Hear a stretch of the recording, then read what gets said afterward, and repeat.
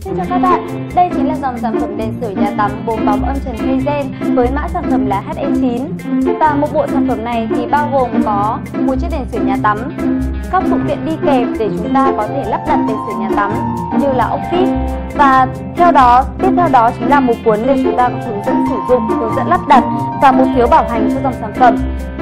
Thêm vào đó là một chiếc điều khiển từ xa Vì với dòng sản phẩm đèn sửa nhà tắm này chúng ta sẽ không sử dụng công tắc mà sử dụng điều khiển. Như vậy thì rất là tiện lợi cho người sử dụng. Và ngay bây giờ thì hãy cùng tôi đi sử dụng dòng sản phẩm đèn sửa này nhé. Như các bạn nhìn thấy ở đây thì về mặt của đèn sửa nhà tắm bao gồm có bốn bóng sưởi ở bốn góc.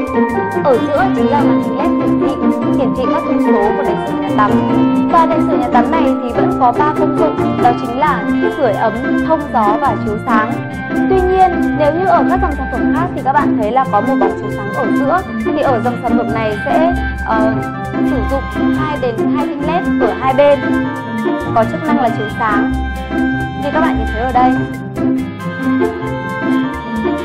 Và chúng ta sẽ có trên hệ thống của điều khiển này thì đầu tiên là sẽ có một nút off để chúng ta sử dụng để tắt đèn rửa nhà tắm sau khi mà không sử dụng nữa tiếp theo đó là sẽ có một ở phím trên này là sẽ là điều khiển cho đèn.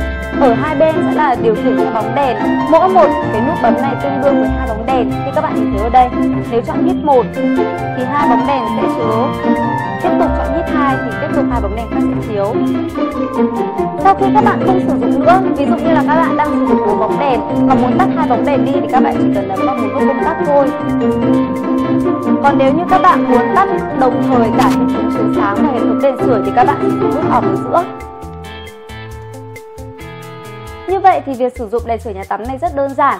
Không chỉ có cách sử dụng rất đơn giản mà khi lắp đặt đèn sửa này cũng rất là đơn giản. Đầu tiên là chúng ta, trước khi lắp đặt thì chúng ta cần phải đảm bảo rằng là đề sửa nhà tắm này đang không hoạt động, không được nối nguồn.